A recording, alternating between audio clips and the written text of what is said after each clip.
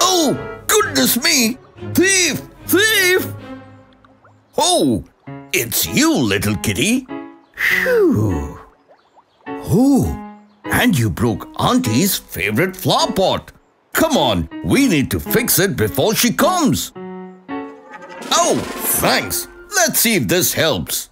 Oh, you're already here, friends. Please don't tell Auntie about the flower pot or she will scold us. Let's try to repair the damage and see if this glue could help to stick the atoms of this flower pot. Atoms? Yes, Kitty. Everywhere we look around is made of tiny, whiny objects called atoms.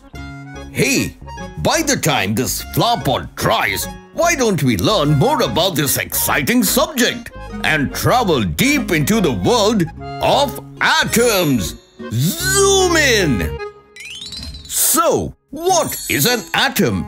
To keep it in simple words, atoms are the smallest unit of matter and building blocks of everything in the universe. Be it solid, liquid, or gas. Right from the grain of sand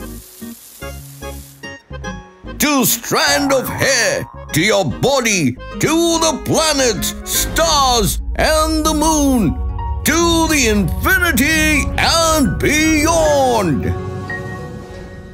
But where did it all begin? As the story goes, one fine day in ancient India, Maharishi Kanad, an Indian scientist, sage, and philosopher, was walking with food in his hand. As he ate the food, after chewing for a while, it occurred to him that he could divide the food into further parts, and thus the idea of a matter which cannot be divided further came into existence. He called that invisible matter Anu, a Sanskrit word for atoms.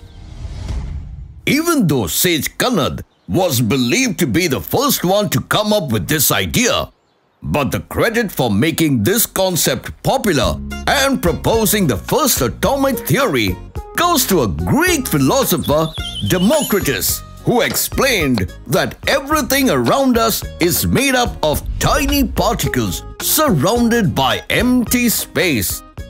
He even said that they vary in size and shape depending on the substances they compose.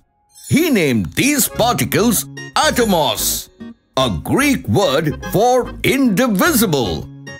And as time progressed, this theory went into many changes and challenges. And finally, we know atoms for what it is and what are they made of. And what's that? Let us see. When you think of an atom, you probably visualize something like this. On the outer side, you got negatively charged electrons. In the center, you have the nucleus made of neutrons that have no charge and protons which have a positive charge. This model is close enough and has been taught in your textbooks since ages. But unfortunately, modern science doesn't agree with it anymore and it terms it as inaccurate. Firstly, the nucleus in the middle is way more smaller than this. So small that you won't be able to see it. Same goes with the electrons. Another thing that is incorrect is that it's believed electrons orbit around the nucleus just like planets orbit around stars. But it turns out that electrons, just like the surprise math test, is really unpredictable. With electrons, we can't really know where it is and where it will be going. The only thing we know is that it will be found somewhere in the electron cloud.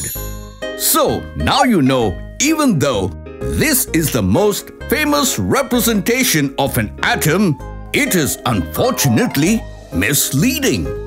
The real picture for now is this. Isn't it cool, friends? Now, go and surprise your teachers. Trivia time! Did you know that the atoms are mostly empty space? Yes, an atom is about 99.99999% empty.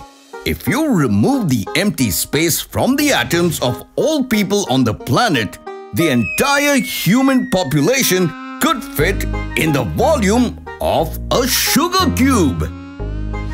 Also, the atoms are really small.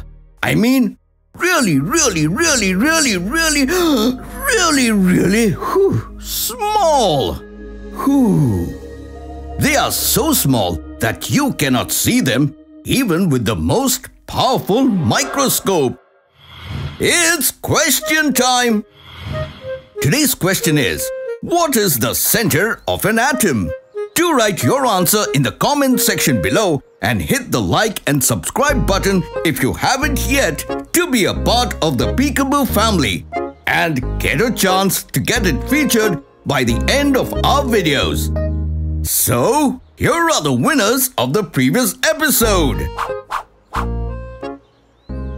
Hope you enjoyed today's episode. And until next time, it's me, Dr. Binocs, zooming out. Oh, hello, Auntie. Hope you're doing good. Oh, never mind. Hey kids, you liked my videos, didn't you? Before you go, don't forget to click on the subscribe button and the bell so you won't miss out on my latest videos. See you!